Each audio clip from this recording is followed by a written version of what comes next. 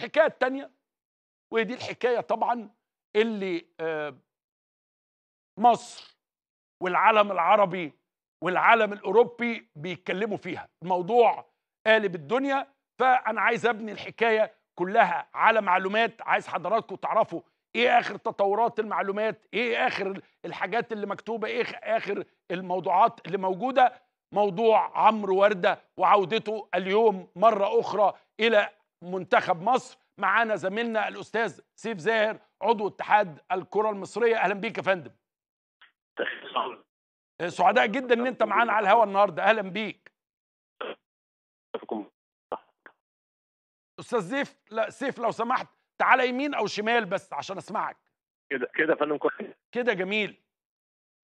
اتفضل يا فندم حضرتك. إيه آخر التطورات دلوقتي؟ عمرو وردة فين الآن؟ أنا عايز بحب بس اخد الأخبار من مصادرها يعني. عمرو ورده فندم موجود دلوقتي في المنتخب هو طبعا بعد الأحداث الناس كلها عرفتها. كان المهندس هاني أبو ريدة هو المشرف على المنتخب الوطني ورئيس الاتحاد وحصل اتصال مع مجلس إدارة اتحاد الكورة والمهندس هاني شاف إن هو في توقيت معين محتاج إنه ياخد قرار وأخده قبل المباراة ايقاف عمرو وردة. ثم بعد كده حصل يعني اعتذار من عمرو أو حاجة شبه تحقيق وحصل جلسة مع الجهاز الفني واللاعبين. واللاعبين الحقيقة كان ليهم برضه موقف إنه قعدوا يتكلموا مع المهندس هاني وعمرو لعب اعتذار المهندس هاني امبارح بالليل كان يعني زي في اجتماع مصغر شاف ان هو يعني إن ممكن الأحداث إن هو يكتفي بعقوبه عمرو إن هو إيقافه عن الدور الأول وعودته بعد الدور الأول تاني للمنتخب. في ناس بتقول إنه كان القرار الأول ضخم جدا وإنه التراجع بتاع اتحاد الكورة كان سريع جدا. ممكن حضرتك تشرح الكلام ده للناس؟ هو فندم القصة مش قرار هو القصة إن قرار اتحاد الكورة كان قرار سريع ولكن يحسب الحقيقة برضو إن حضرتك داخل على ماتش بعد ساعات الحدث حصل الصبح. والمهندس هاني أبو ريده كان قراره واضح بغض النظر عن النتيجة بغض النظر عن أي حاجة ولكن شاف إن هو القرار إيقافه على طول لحين التحقيق ورؤية الموقف بشكل كبير. وبعد كده الحمد لله يعني قدر لعيبة المنتخب إن هي تعدي المباراة والأمور مشيت بشكل هادئ. فبعد كده قدرت أنت تشوف الموضوع برؤية مختلفة وإن اللعيبة الحقيقة برضه كان ليها حالة تعاطف مع عمرو اعتذار عمرو عن الخطأ وشرح الموضوع بالتفصيل. أعتقد إن هي أدت لهذا القرار يعني ولكن اتحاد الكره أخذ قرار الصبح على طول كان واضح وكان قرار تربوي يعني. هل كان للمدير الفني رأي في هذا الأمر سواء بإبعاد عمرو وردة أو عودة عمرو وردة؟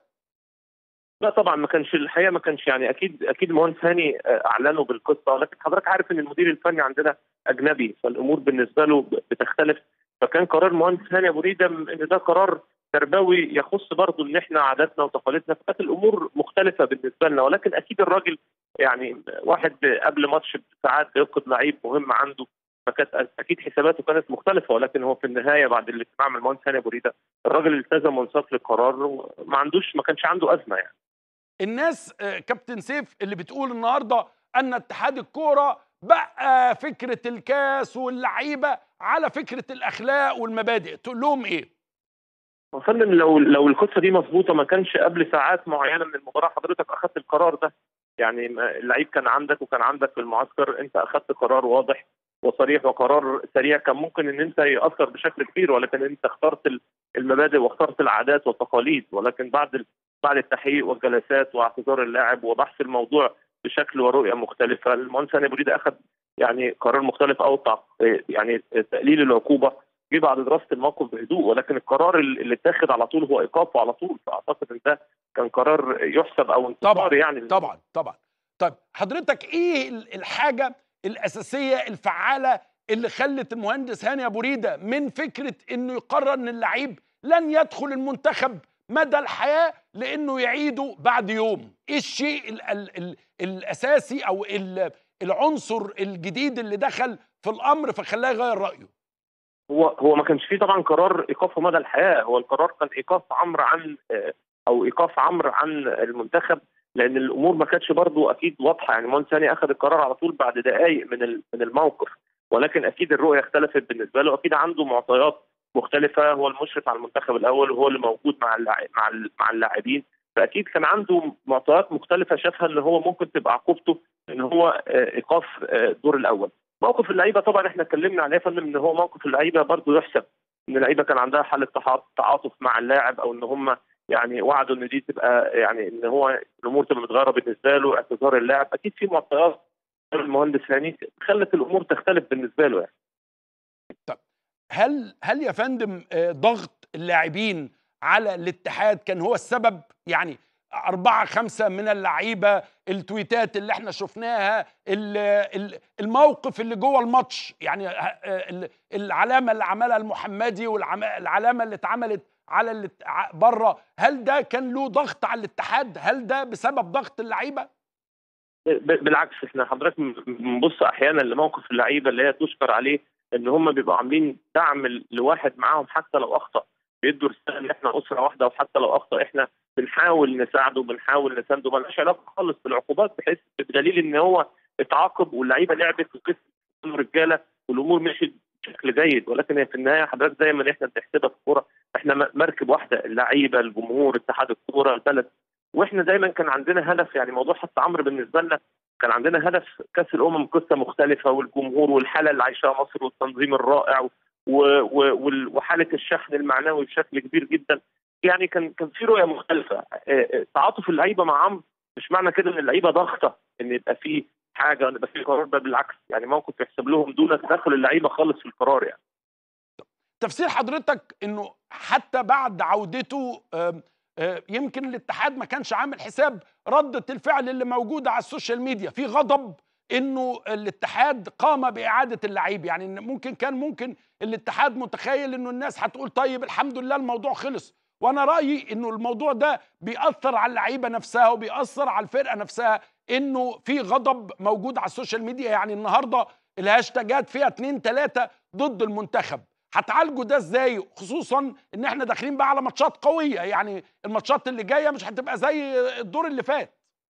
طبعا أنت حضرتك أنت ب... أنت دايما اتحاد الكورة بيبص حضرتك للامور بشكل مختلف تماما. في حضرتك ممكن تبص إن دي حاجة أنت بتعدل فيها المنتخب أو إن اللعيبة لما بتعمل موقف زي كده ويرجع تاني عمرو بعد عقاب معينة ده يعمل وحدة الصف المنتخب. في ناس شايفة ده ممكن يكون قرار عليه اعتراض. عمر ما الناس بتتفق آه، عليه خصوصا اتحاد الكورة بالذات دايما بيبقى قراراته ملوش جماهير مش مش أهلي أو زمالك أو ناس تبقى سبورت بشكل كبير. ولكن أحيانا زي ما حضرتك كده بتقول أنت النهارده اخذت القرار الصبح اللعيبة انساقط.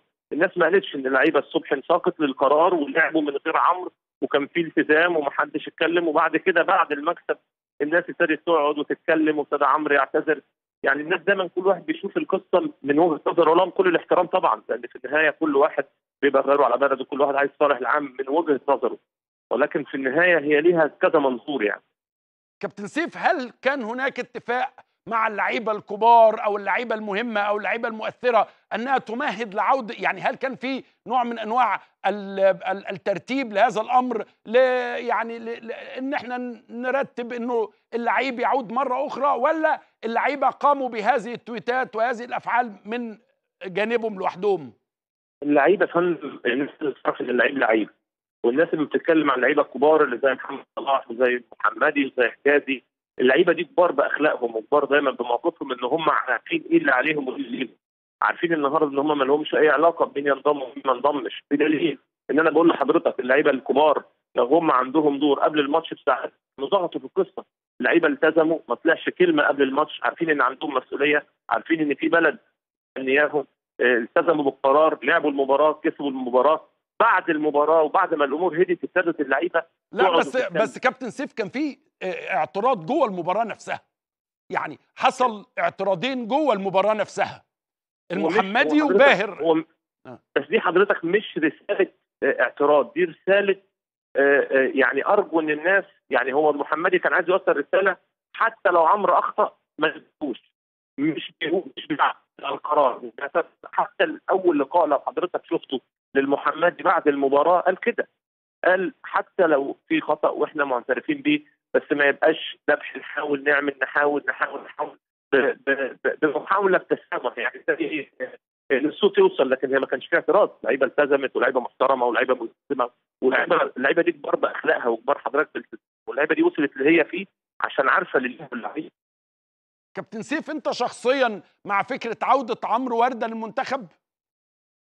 أنا أنا يعني مش حضرتك مش مش مسألة مع فكرة عودة عمرو مش أو أو مش عودة عمرو. أنا مع فكرة إن لازم في مواقف معينة يبقى في قرارات حاسمة حتى لو هتدفع ثمنها أنت حضرتك النهارده بتحسبها حزب ورقة وقلم كان من الصعب تاخد القرار قبل المباراة بساعات. كنت في احتياج شديد المباراة وكانت ممكن كهربتك الدنيا.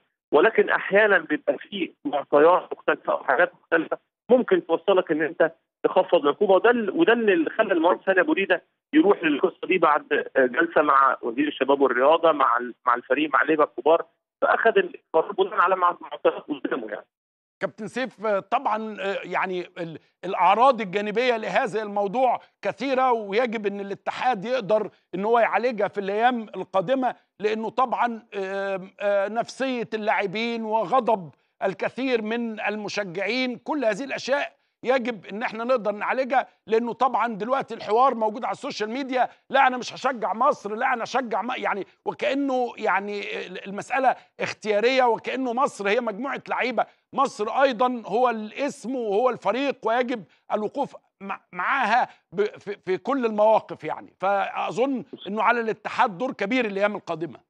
أستاذ عمرو ال- الشعب المصري كله عليه دور كبير. الشعب المصري كله شايف إن الدولة على تنظيم البطولة دي وشايف الإنجاز المتحقق ال- الرائعه اللي إحنا بنعيشها وشايف في أربع شهور الدولة المصرية بتتحمل أعباء غير طبيعية وبتعمل حدث. أنا ما أقدرش أقول إن دي بطولة أفريقيا أنا أقدر أقول إن مصر دلوقتي جاهزة لاستقبال كأس عالم.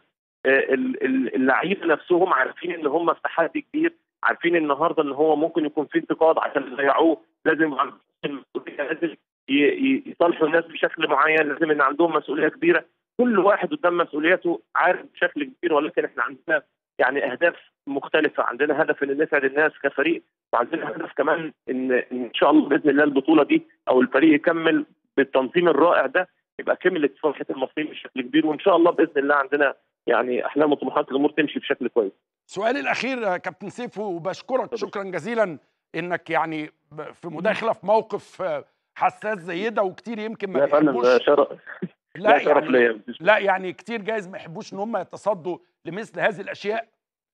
هل أنتوا في أي وقت من الأوقات ناقشتوا موضوع التحرش مع عمرو؟ يعني هل سألتوه إذا كان ده حقيقي مش حقيقي؟ يعني هل أنتوا دخلتوا في هذا الأمر عشان تعرفوا هل هو مظلوم مش مظلوم؟ ولا الأمر ما أنتوا خليتوا هذا الأمر آه، جانبا؟ آم، آه، أعتقد إن في ثلاث جلسات حصلت ما بين عمرو والمهندس ثاني ابو وفي جلسة امبارح ما بين المهندس ثاني ابو وعمرو وسيد وزير الشباب والرياضة دكتور أشرف صبحي. وأعتقد إن هي كان فيها أحاديث كبير يعني كثيره جدا في ال- في التوقيت الحالي آه، المنتخب عنده مباراة مهمة. ممكن يعني قريبا إن شاء الله بإذن الله المهندس ثاني هو اللي يعلن الموضوع بتفاصيل. أكيد. كابتن سيف زاهر عضو مجلس إدارة اتحاد الكرة وزميلنا العزيز بشكرك. شكرا جزيلا على هذه المداخلة. بش- بشكرك فندم شكرا.